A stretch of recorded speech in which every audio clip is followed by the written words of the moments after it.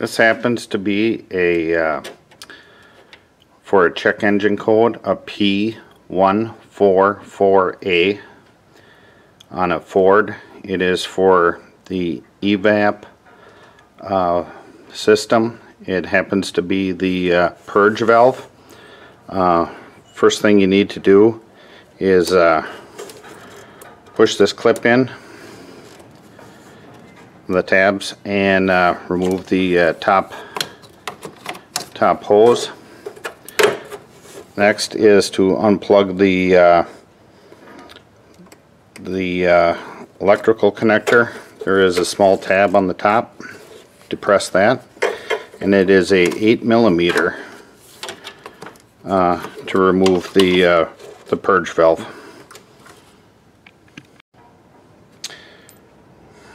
The two bolts out. Just take and wiggle it out.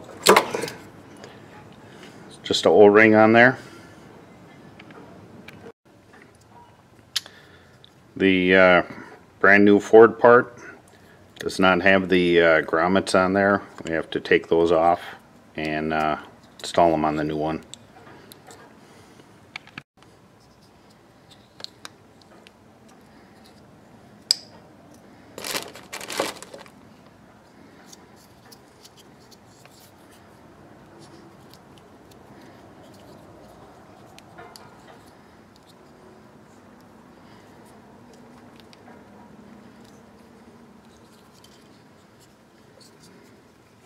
Reinstall it, just pops right back in.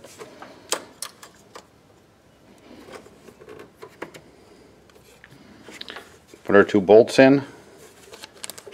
Put our new uh, our hose on there and replug it in and uh, we're ready to reset the code.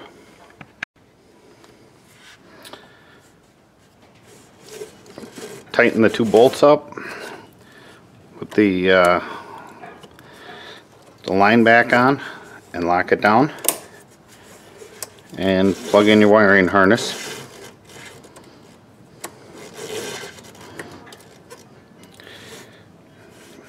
It is uh, located directly behind the uh, throttle body on this uh, 2.5 liter uh, you know Ford Escape.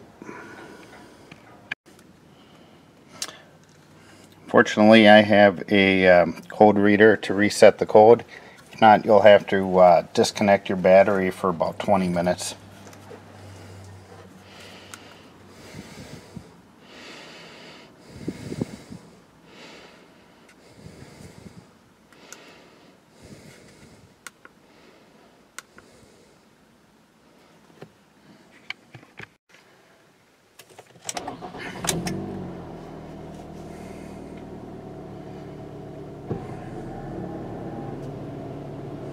Light is out.